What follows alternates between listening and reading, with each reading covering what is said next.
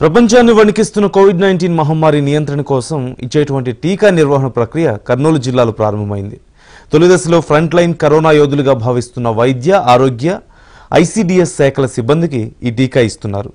జిల్లాకే తలమానికంగా ఉన్నటువంటి ప్రభుత్వ వైద్యశాలలో ఆరు చోట్ల కోవిడ్ వ్యాక్సిన్ టీకా వేస్తున్నామంటూ hospital superintendent doctor Narendranath Reddy తెలుపుతున్నారు. టీకాపై ఎవరూ కూడా ఎలాంటి అపోహలు పెట్టుకోవద్దంటూ ప్రతి ఒక్కరూ వేసుకోవాలంటున్న డాక్టర్ నరేంద్రనాథ్ రెడ్డితో మా ప్రతినిధి Khaleel face to face. General ఆసుపత్రిలో కోవిడ్ వ్యాక్సిన్ డోసు మొదలైంది. ఈరోజు దాదాపుగా వచ్చేసి ఈ ప్ర ఈ ప్రభుత్వ ఆసుపత్రిలో మొదటి ఫ్రంట్ లైన్ వారియర్గా వైద్యులకు అదేవిధంగా వచ్చేసి నర్సులకు టీకా వేస్తున్నారు. ఈ నేపథ్యంలో మనతో మాట్లాడేందుకు హాస్పిటల్ సూపరింటెండెంట్ నరేందర్ రెడ్డి గారు ఉన్నారు. ఆయన అడిగే ప్రయత్నం చేద్దాం. సార్ చెప్పండి సార్. ఈ తొలి డోసు మొదలైంది. అసలు ఎంతమందికి వేస్తున్నారు? ఈ హాస్పిటల్లో ఎక్కడెక్కడ? ఇంకా మనం నమస్కారం అండి. ఈరోజు మనము కోవిడ్ టీకా మొదలు పెడుతున్నాము. ఇక్కడ ఆరు సెంటర్లను గుర్తించడం జరిగినది. దీనిలో తొలి విడతగా మనము ఇక్కడ ఈ సెంటర్లో ఓల్డ్ గైనిక్లో మొట్టమొదటిగా స్టార్ట్ చేస్తున్నాము. ఇక్కడ ఈరోజు నూట నూరు మందికి వేయడానికి నిర్ణయం నిర్ణయం జరిగింది. ఈరోజు మొట్టమొదటిగా మన హాస్పిటల్ ఆర్ఎంఓ గారు హేమ డాక్టర్ హేమనల్ని గారికి టీకా వేయడం జరిగినది. తదుపరి ఇక్కడ పనిచేసేటువంటి సిబ్బంది స్టాఫ్ నర్సెస్ కానీ మరియు శానిటేషన్ సెక్యూరిటీ వర్కర్స్ కూడా ఈరోజు మనము ఇవ్వడం జరుగుతుంది.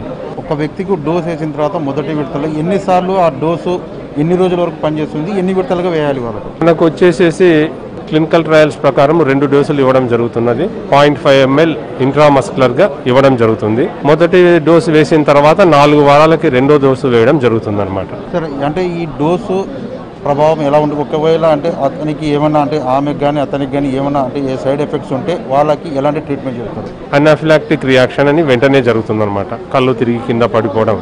వెంటనే ఇక్కడికి మనకు ప్రోటోకాల్ ప్రకారం అడ్రినలిన్ ఇంజెక్షన్ వెంటనే ఇవ్వడం జరుగుతుంది. అదేవిధంగా ఏమైనా ప్రాబ్లం ఉంటే ఇక్కడనే మనము చూస్తున్నారు కదండి ఇక్కడ బెడ్స్ అరేంజ్ చేశాము ఇక్కడ ఆక్సిజన్ ఉంది. అదేవిధంగా ఎమర్జెన్సీ డ్రగ్స్ అన్నీ ఉన్నాయి. వాళ్ళకి ఏ ప్రాబ్లం ఉంటే దానికి తగినటువంటి చికిత్స చేయడం జరుగుతుందన్నమాట. అదేవిధంగా వాళ్ళు ఇంటికి వెళ్ళిన తర్వాత ఏమైనా రుగ్మతలతో కానీ ఏమైనా ప్రాబ్లమ్స్ వచ్చి వెంటనే మనకు సంప్రదించిన ఎడల ఇక్కడ మనం హాస్పిటల్లో ఏఈఎఫ్ఐ వార్డ్ ఇరవై బెడ్ల ఇరవై పడకలతో జరగడం పెట్టడం జరిగింది. సార్ ఎలాంటి వారికి డోసు వేయాలి? ఎలాంటి వారికి వేయకూడదు? ఎన్ని ఏజ్ వాళ్ళకంటే ఎలాంటి ఏజ్ ఉన్న వాళ్ళకి ఈ డోసు వేయచ్చు? ప్రస్తుతానికి మనం పద్దెనిమిది సంవత్సరాలు నిండిన వారికి వేస్తున్నాము.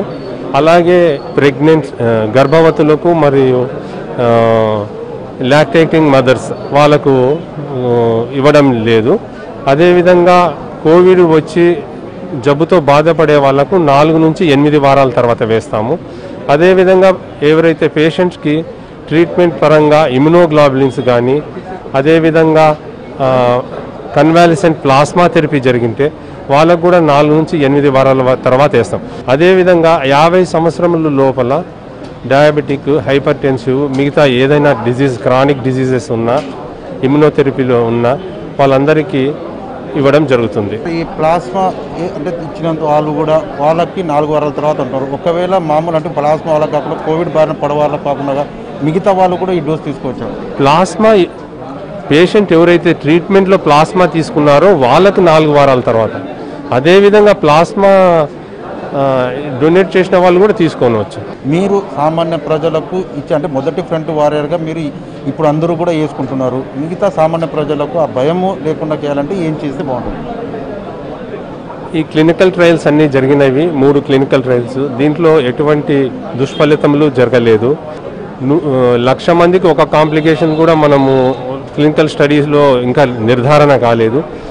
యాజ్ ఎ డాక్టర్గా నేను తీసుకోవడానికి ముందుకు వస్తానండి అదేవిధంగా మనం తీసుకోకుంటే రేపొద్దున కోవిడ్ వచ్చి మన లంగ్స్ మిగతా అవయాలు చెడిపోతాయి అన్నమాట అది ఎంత తీవ్రంగా చెడిపోతాయో మనకు తెలియదు ఇది ఏదైతే ఉందో ప్రతి ఒక్కరూ కూడా ఈ డోసు వేయించుకుంటే తమ ఆరోగ్యాన్ని కాపాడుకోవచ్చు అని చెప్పేసి డాక్టర్ నరేందర్ రెడ్డి గారు చెప్తున్నారు. అదేవిధంగా వచ్చేసి కోవిడ్ వలన బయట వచ్చే అపోహలను ఏమాత్రం కూడా పట్టించుకోకుండా ప్రతి ఒక్కరూ తమ జాగ్రత్త కోవిడ్ బారిన పడకుండా తగు జాగ్రత్తలు తీసుకోవాలి. అలాగే వచ్చేసి ఫ్రంట్ లైన్ వారియర్గా ఏదైతే మొదటి డోసు వేయించుకున్న వారిలో మేము కూడా అంటే మొదటి వైద్యులు కూడా మేము ముందుకు వస్తున్నాము. కాబట్టి ప్రతి ఒక్కరూ కూడా ముందుకు వచ్చి కోవిడ్ వ్యాక్సిన్ వేసుకోవాల్సిందిగా ఆయన కోరుతున్నారు.